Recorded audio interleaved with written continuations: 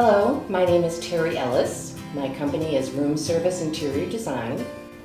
This is my client and friend Jennifer Burkle, and we've known each other since January of 2019 when we embarked upon this project, Yes. which is one of my all-time favorites.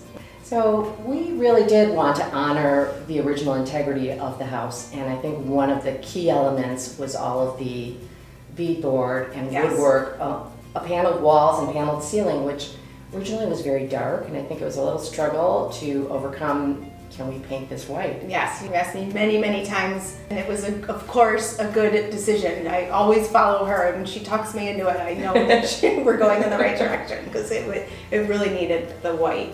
So we did, and we added some shiplap, we added some blue stone around the new fireplace. I was very much inspired by what I saw around me, so to bring in the colors of sand and water and driftwood, it was all right there.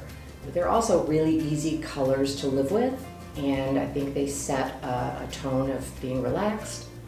So that was really important and integral to the success of the interior.